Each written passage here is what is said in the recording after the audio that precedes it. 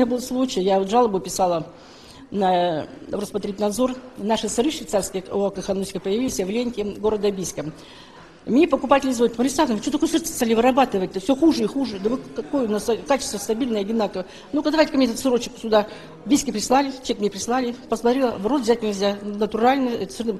Пишу жалобу, Роспотребнадзор. Рос, Роспотребнадзор выезжает в это магазин, этот большущий магазин «Лента» в городе Бийске, поднимает все-все-все фактуры. Нет ОАК Хануського.